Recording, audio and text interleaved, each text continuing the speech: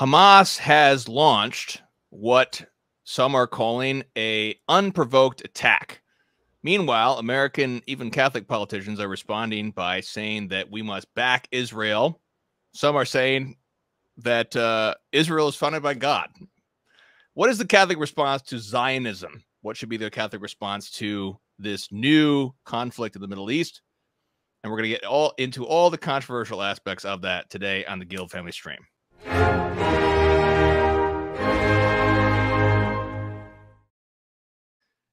Alhamdulillah. Welcome everyone. Ahlan wa sahlan, as they say in standard Arabic. What what what would you say in uh in Moroccan Arabic? Do you say ahlan wa sahlan? Yeah, yeah, same thing. yeah. Thing, yeah. Okay. Um, because there's there's standard Arabic and then there's the the regional regional regional Arabic. Arabic. This is entirely different. Um, and I, I learned Egyptian Arabic, but I'm very happy to be going to the Middle East with Cavazos again because Cavazos actually traveled a lot in Morocco. Was it just Morocco or other countries as well? Just Morocco, just Morocco in the Middle okay. East. Fantastic, excellent. So, and I I lived for two summers in Egypt in college, and so we're both um, Arabophiles in some way, Middle Eastern enthusiasts. And you mm-hmm. went as a missionary to Mohammedans when you mm-hmm. were a, when you were a Baptist, right? Yeah, I went. Uh, basically, it was like the underground mission world. So they have lots of like regional Protestant groups that are underground, and so we would basically just kind of go underground and smuggle Bibles to them and all kinds of crazy stuff like that. So yeah, it was lots of fun. Lots of fun. Fantastic. Yeah, so we're going to be talking about the the latest conflict and taking a look at Catholic views on Zionism and the the current conflict.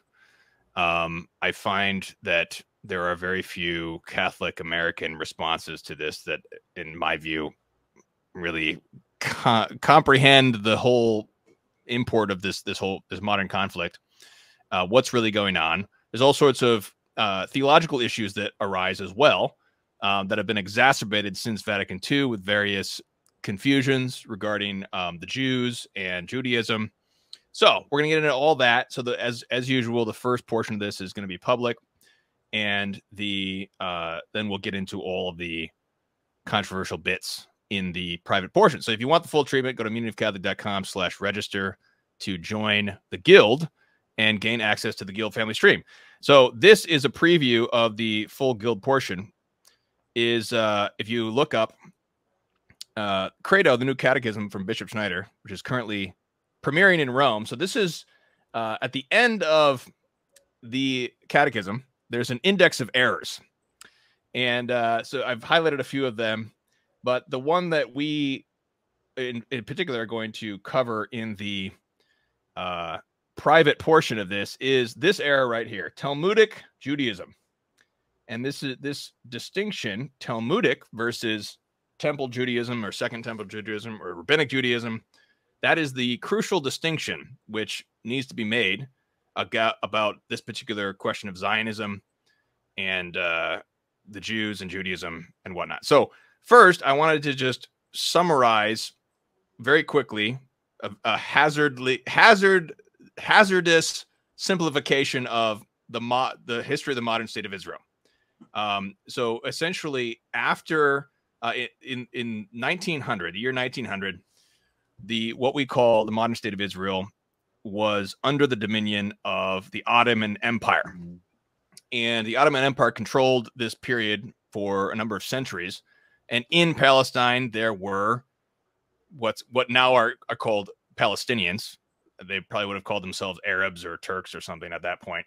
But Palestinians speaking Arabic, of whom most of them are Mohammedans, but there is the the there are Palestinian Christians. And that's the first point we need to emphasize is that something that's almost always forgotten by the American, even Catholic discourse is that the Palestinians include Christians.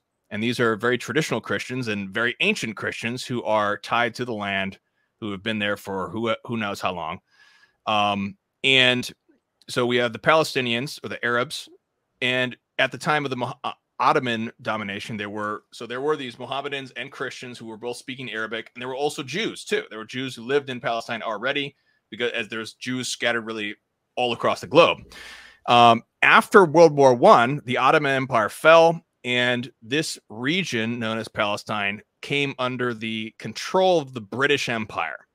And this is what's known as the Balfour Declaration, the, uh, the British Mandate, Palestine, where Britain was controlling this region because all of the Allied powers after World War One, they gained control over the Ottoman Empire and they they all chopped it up. So the modern Middle East, the history of the modern Middle East is very similar to the history of modern Africa in the sense that after World Wars One and Two, the Allies gained control of all these regions and then they just chopped them up into countries as they saw fit for their own interests. And this is, you know, like Iraq, uh, Saddam Hussein, Egypt, all these places are set up um, it, Saudi Arabia is a different case, but um, they're all set up for the interests of the Western powers. And among these Western powers were many Jews. So there are many Jews who were making, uh, they were influencing things after World War One, and Zionism really came about, came in, came into the fore after World War One. So many Jews in the West who were who were in places of power and influence were pushing for the Brit British mandate to allow Jews to come and settle so they began to allow Jews to come and settle in, in the British Mandate Palestine. And this provoked clashes between the local inhabitants and the Jews. Significantly, there's actually the indigenous Jews of Palestine. Um, they had various, um, the traditional rabbi, the head rabbi, uh, um, they had various uh, declarations against more Jews coming.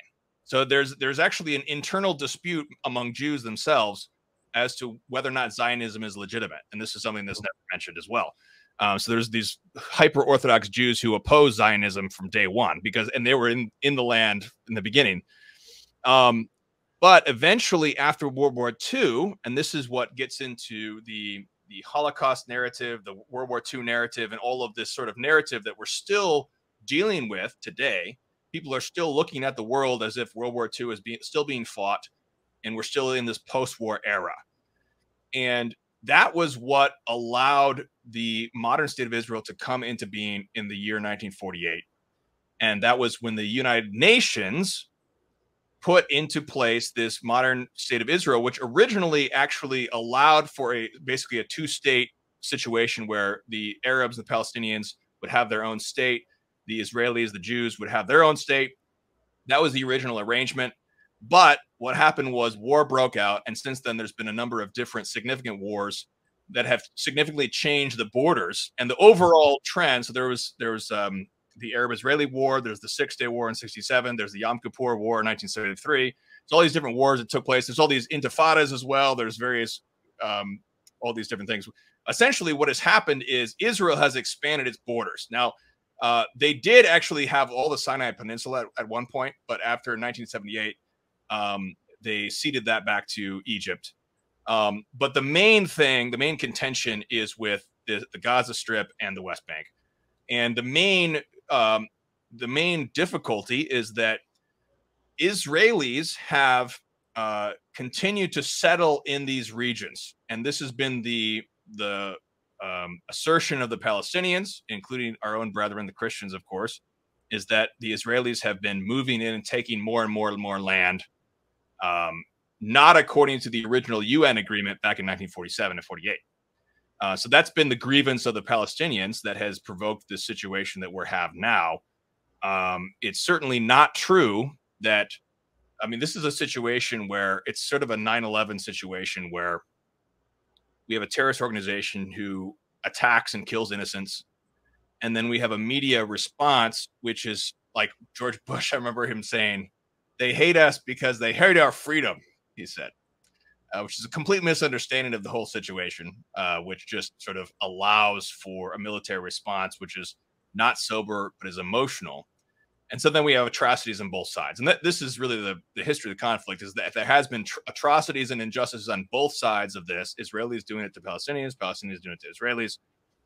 And but in the midst of this, there's this idea of Zionism. So uh, Cavazos, tell us about. Can you summarize what is the evangelical Protestant? This is the dominant idea, which which I think melds with Jewish ideas, American Jews and American Protestants. They both get together to promote this idea. Tell us about that. Yeah, when you look at the history of Protestantism in general, you don't see a very pro Zionistic um, current of thought inside of it until really the 1830s. When you go back and you look at the founders of Protestantism, right, Luther, Calvin, you're not going to find Zionism. You're going to find just, in a certain sense, just guttural hatred towards uh, anything Jewish. Uh, that was just kind of the dominant narrative of that time. And even in the Americans, right, uh, American type period, you don't see, for instance, the Puritans, they're not Zionists. You don't see the first Great Awakening, it's not Zionistic at all. The, th- the second Great Awakening is not either. You really start to see Zionism build, though, with a man by the name of John Nelson Darby, who is in the 1830s he was a member of what's called the Plymouth Brethren, which is no relation to the Puritan group, but the Plymouth Brethren up in Massachusetts. And he one day was uh, at a meeting, right, where there was a woman who was deathly ill, and she received this vision where it was essentially the classic left behind pre trib rapture story. That's, you know, the Christians are all just going to be kind of doing their thing, and then all of a sudden they're kind of caught up into the heavens they're gone. Now, this woman, of course, she's not Catholic. She was also quote unquote speaking in tongues, right? Which goes to show the veracity of like how widespread even quote unquote speaking in tongues is in the, I guess, in the false sense. And he takes this and he starts to really delve into theology. Well, he starts to craft because he has a lot of Jewish friends at the time, this early Christianized version of um, what's eventually called Zionism, but in Christian terms, it's called dispensationalism. And what eventually takes place is that his protege, right, which was a man by the name of C.I. Scofield, takes more or less all of Nelson Darby's thought and puts it into a study Bible. Now, when you look around at bookstores today, Christian bookstores, study Bibles aren't new, right? We see a lot of them there's a lot of good ones, for instance, like Scott Hahn's study Bible, right? That's a very, very good version of a study Bible. But in that time period, there was no study Bibles at all. You just had a plain text Bible. Maybe you had some cross references. Maybe some monks, right? An original copy had some notes on the side, but that would be about it. Um, so John Nelson Darby, he was friends with a lot of Jewish publishers and he was very pro Zionistic. And so he wrote down these notes. And in 1917, they released the first edition of what became known as the C.I. Scofield Reference Bible. Now, this reference Bible, because again, it's a reference Bible, right? That's a great marketing thing. They market it, and all of us, especially in the Deep South, the Baptist seminaries, the evangelical seminaries, and evangelicalism, it was it was at, at the time broader than just Baptists. It was Methodists, it was uh, certain elements of Presbyterianism as well, but mainly Southern Baptists. They all buy it, and a ton of young men in Bible colleges are now going through and they're interpreting the Bible through the lens of Zionism. And it's particularly taken from Genesis chapter 22, which talks about how the Lord he's giving his promises to Abraham, right? And ultimately it's a promise referencing Christ, but what ends up happening is our Lord says, those who will bless you shall be blessed. Those who curse you shall be cursed. And C.I. Scofield reads into that. Well, what this means is they who bless the Jews will be blessed. They who curse the Jews will be cursed. The state of Israel should more or less be a thing. And so, therefore, what ends up happening is, you know, he passes away. And then eventually in the 1940s, right, catching up to speed where, where you were, the U.S. government, through the military-industrial complex, right, really is um, very favorable toward this idea of a Jewish state for for various reasons, and so therefore they know, especially to galvanize the American public to be be behind some type of issue, they can't just go out and say, "Here's a political issue, accept it." Right? They propose it, especially even through the guise of religion we need to support this right look it's in the bible after all right you guys have been all studying this accept it. And so what ends up happening is you have lots of Baptist preachers, lots of evangelical ministers who really get on board with this. And so pretty much from the 1940s all the way up until I would say really recent time. I mean, still fairly I'd still I say I would say it's the majority opinion still today. Evangelicalism is very heavily Zionistic, right? Because it is this idea that, you know, God, right, established the nation of Israel in the Old Testament the Jews are God's chosen people still. And so, therefore, we need to be pro state of Israel, pro Jewish in this context. And so, that's a, essentially the brief history, but it gets pretty bad. I mean, even down south of me, right down, right. So, I live in between Austin and San Antonio. Down in San Antonio is one of the biggest meccas of evangelical Zionism. Uh, Kenneth, uh, I think it's Kenneth Hagee, Kenneth Hagee's church. Um, and he's flat out said before some stuff that might seem familiar to certain modern popes, where he says that the Jews have a complete covenant with God still, and you need to uh, recognize that they're still saved through that covenant. Sorry, Apostle Paul, I guess, but yeah, that's where it is now. Hey, guess what? We just we just had a Zionist pop in. Here we are. Uh, hey. Mr. Zionist himself. Can you, can you guys can you guys hear me right now at all? I can hear you. Yeah. yeah. I've never I've never uh, entered one of these streams on my cell phone before, but my studio now has my mother-in-law in it. so yeah. we're re- we're rebuilding and everything, and so I had to scramble out here with my phone, and so I hope that's okay. I, we're so happy that you're with us, Paleo Crab. We, we just about we are just about to get into the juicy, controversial portions of this whole stream. So I'm glad that you joined us right. Oh yes, yes. So coming up next, we'll talk about Judaism, uh, post-war narrative, Talmudic Judaism.